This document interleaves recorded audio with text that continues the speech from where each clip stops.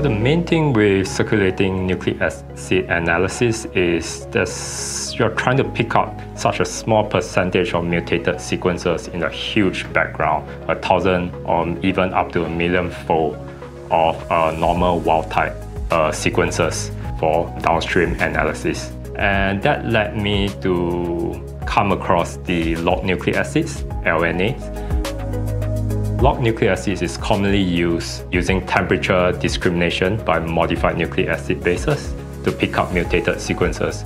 So my idea was to flip around this thinking and instead use the LNAs to suppress the noise from these background sequences and that leaves the uh, mutated sequences readily available for analysis.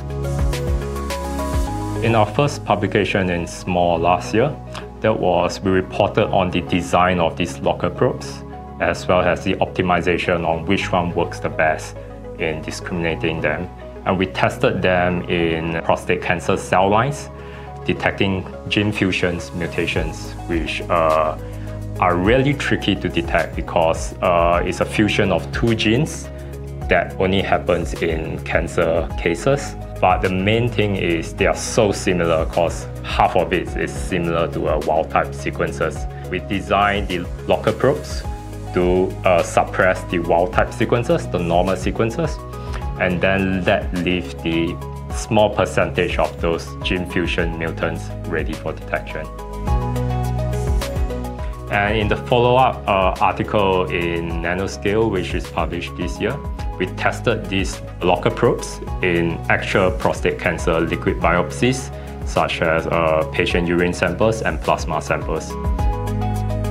I foresee that these locker probes can be used to suppress background noise and make other kinds of mutations such as single nucleotide variants available for uh, analysis as well.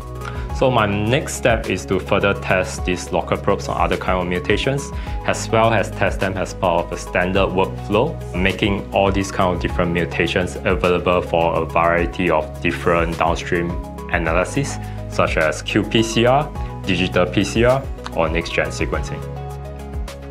My goal is to validate and push out a, a assay that can reach out to the patients for their benefit